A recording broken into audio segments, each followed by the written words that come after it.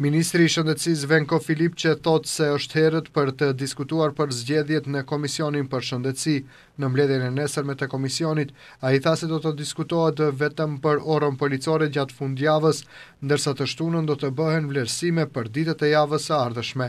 Vendimet për të ardhmen, ku bëjnë pjesë edhe zgjedhjet, do të merren në bazë të shifrave në terren.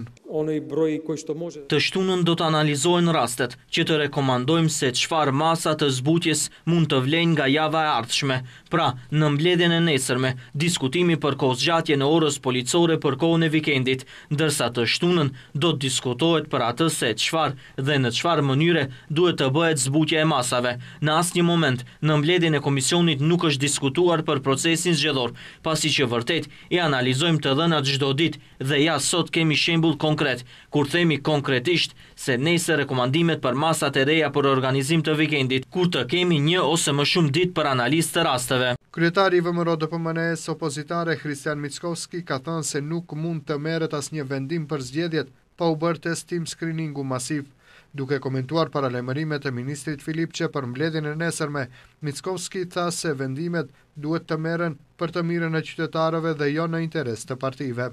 Në kushte kur ja sot mora informacion se vatra e re është Velesi, nesër do të ketë mbledhje komisioni i Filipçes, që duhet të del me pozicion. Unë jam i sigurt se nëse Filipçe dhe të tjerët vendosin të veprojnë si mjekë, të cilët vërtet kujdesen për shëndetin e qytetarëve, nuk kam dilema se qëndrimi do të jetë ndryshe nga dëshirat e Zoran Zaevit, Radmila Sheqerinskës dhe të gjithë udhëheqësit e LSDM-së. Por, nëse Filipçe vendos të jetë shërbëtor i dëshirave të Zoran Zaevit dhe Radmila Sheqerinskës, atëherë mund t'ju them prej tani rezultatin e takimit të nesërm dhe ai është se nuk ekziston aspak rrezik dhe praktikisht gjithçka është siç duhet, se po shkëlqejmë dhe se Maqedonia është në situatë të njëjtë si para pandemisë. Partia Alternativa vlerëson se fillimisht duhet të mbahet llogari për shëndetin e qytetarëve dhe më pas të mendohet për zgjedhje. Skender Rexhepi Zejdi thotë se zgjedhjet mund të mbahen kur të sigurohen kushte normale për qytetarët dhe partitë, ndërsa si periudhë më të përshtatshme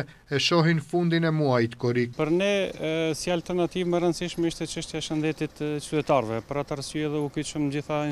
instancat që në kuadër të pandemisë t'i shërbejmë shëndetit qytetarëve, megjithatë çështja e procesit zgjedhor u desh të shtyhet, siç e dinë gjithë, për atë arsye konsiderojmë që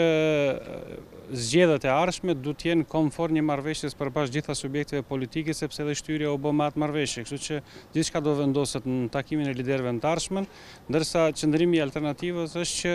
zgjedhjet në çdo kohë, nëse është aspekti politik, në çdo kohë janë të mirëseardhura se ndryshimi u duhet qytetarëve gjithsesi, por megjithatë koha më e përshtatshme do ishte për t'u përmbush disa hapsira tjera njerëzore, do thotë konform mundësisë që të kemi një fushatë dinjitoze, të kemi një fushatë ku do të prezentohet platforma, pavarësisht do ishte në rrethana tjera, do jetë gjithsesi kjo fushatë, por Do duhet çdokush të ketë çka të prezantojë. Korriku apo fundi i korrikut do ishte më i përshtatshëm për ne edhe si qytetarë, jo si alternativë, flas si qytetar edhe si shqiptar në përgjithësi. Përveç Alternativës, edhe partitë e tjera shqiptare kanë kundërshtuar mbajtjen e zgjedhjeve në muajin qershor. Debati për mbajtjen e zgjedhjeve parlamentare u riaktivizua pas vendimit të djeshëm të Gjykatës Kushtetuese për të mos shfuqizuar shpërbërjen e Kuvendit.